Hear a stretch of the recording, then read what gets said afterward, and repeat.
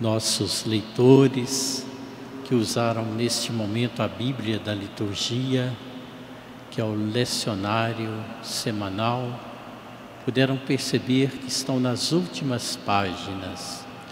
É todo o ano litúrgico transcorrido que vai chegando ao seu final. Amanhã nós vamos concluir esta jornada e na manhã de sábado finalizar esta 34 semana do tempo comum.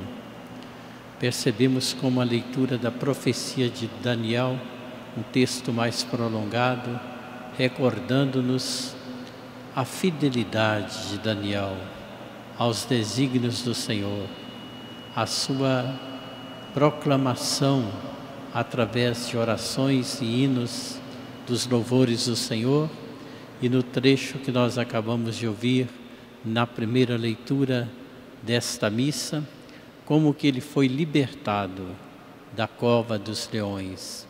É a fidelidade do Senhor para com os seus eleitos, para com os que a ele se dedicam com fidelidade na sua vida, na sua vocação, como fez o profeta Daniel.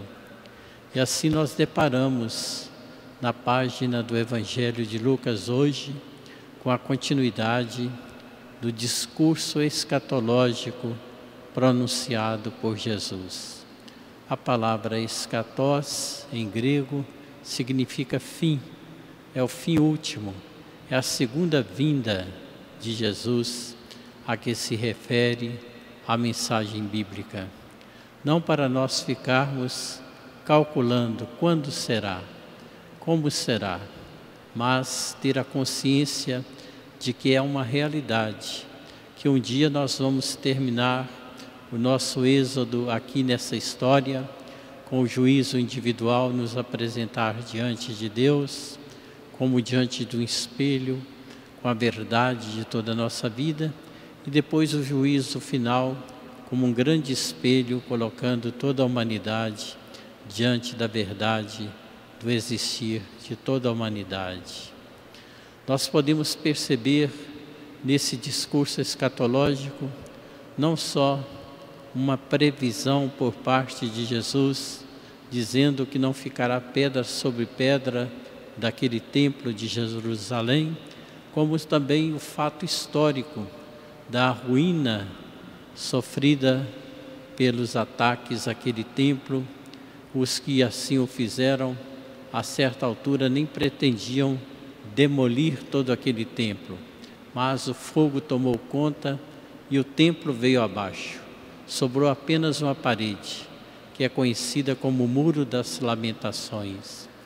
No ano 66 depois de Cristo, começaram então todas essas guerrilhas e ataques a Jerusalém, a cidade mesmo de Jerusalém, culminando no ano 70 com a destruição do templo. É um primeiro aspecto histórico previsto pela palavra do próprio Jesus.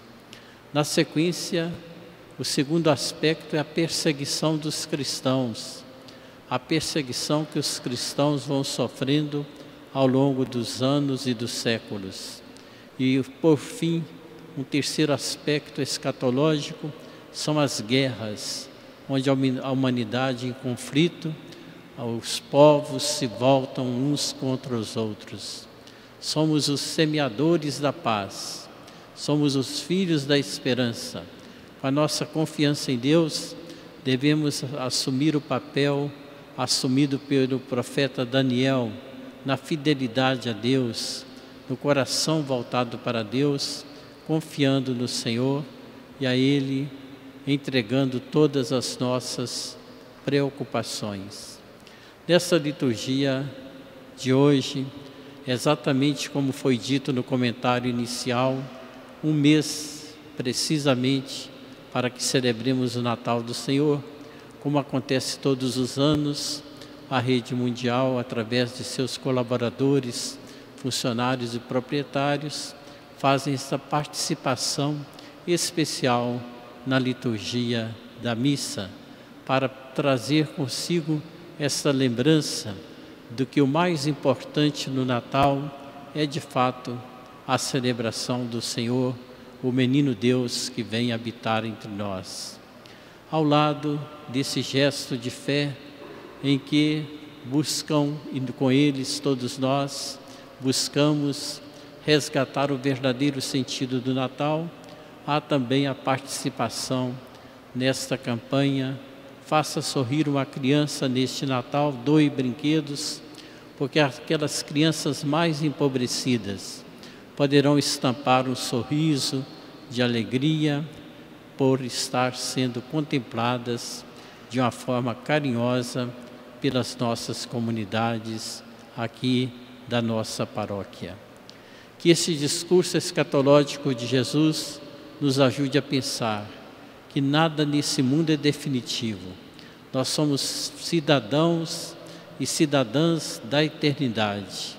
Por aqui passamos um certo tempo, mais prolongada que seja a nossa existência física neste mundo, ela é muito passageira e muito breve em relação à eternidade toda que nos aguarda.